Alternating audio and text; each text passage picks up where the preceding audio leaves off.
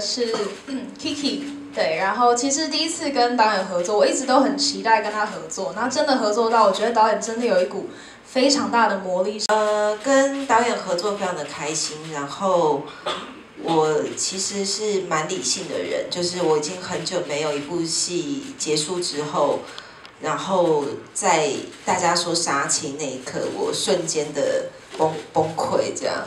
第一个当然是看过他们所有的作品。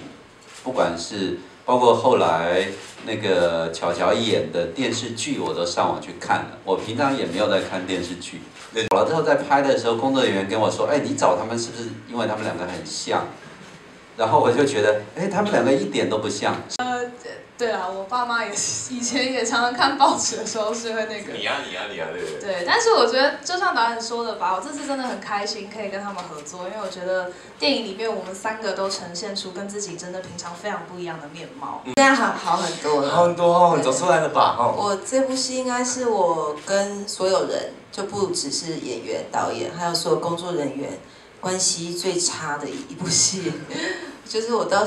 就是我到杀青，还有很多人，其实我并没有讲到话，这样。其实虽然我们没有正式合作，一直到现在才有合作。其实，在之前我们因为我们有共同的朋友，所以其实我们私底下有联有有有有些联络了，有有有联络这样对。所以其实呃都就是见面然后合作的时候，其实蛮有趣的这样。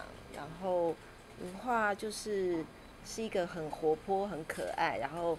非常认真开朗的女孩，我我认识的她这样。之前也有在节目上也有碰过，对，然后但是一直没有真的有机会深聊啊或是什么的。但是这一次合作，我们真的只有第一天碰到面的时候，拍摄过程中我也不敢跟巧巧说话，因为他完全很认真的在他自己的角色里面。直到今天我才能真的很开心的，我们两个人终于可以聊自己想要聊的话题。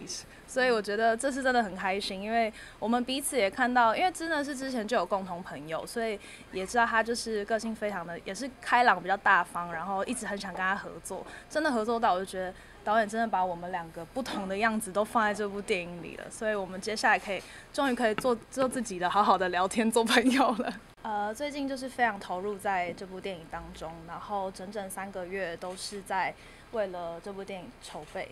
对其实我见到他们本人，我觉得其实真的一点都不像，对啊，因为嗯，然后他们的个性啊，各方面，就是我觉得是就不像。非常认真在准备《卓人秘密》这部电影，对。可能还会补拍嘛，所以先不 让他接其他工作。就是有点像饱受攻击，会觉得自己很委屈。